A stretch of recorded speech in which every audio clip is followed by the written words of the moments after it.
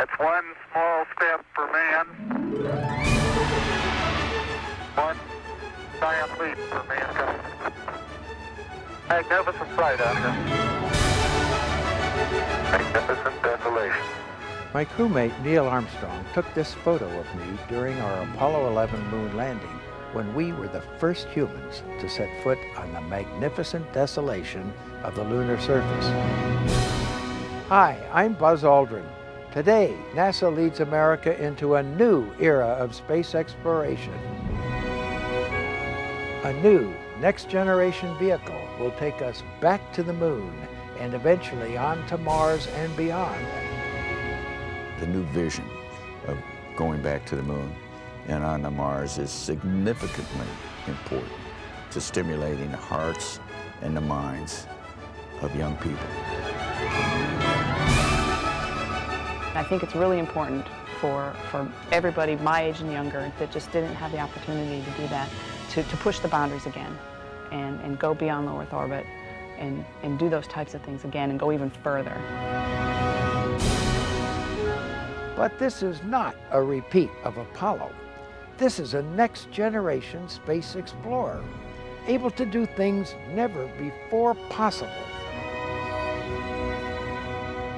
We have all the ingredients in the Earth-Moon system to develop the operational and technological mechanisms for getting to Mars and to its surface. And uh, I think we have to take advantage of that, and that's really the operational importance of what the President has proposed to do. It's important that humans go to the moon and to Mars because it's part of what we do as America. We've been a nation that has always had a frontier, has always been expanding, and if we ever stop that, I think we're going to lose something really vital to our national um, character. Well, I think it's very important to get on with this exploration because I think the future of, of civilization as we know it really depends on us being able to develop these technologies. We are at a point now where we're going to have an opportunity, a chance to go to the moon, and not, as John Young would say, walk on the moon or work on the moon, but to live on the moon for an extended period of time. That's one of the most exciting things that we could ever do as a civilization.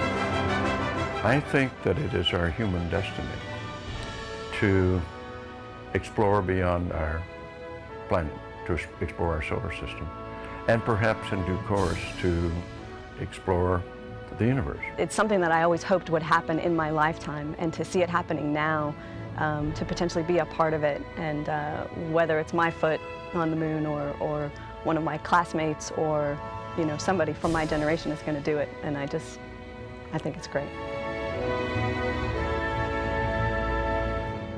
Great nations do great and ambitious things. We will continue to be great as the leader in this new era of space exploration.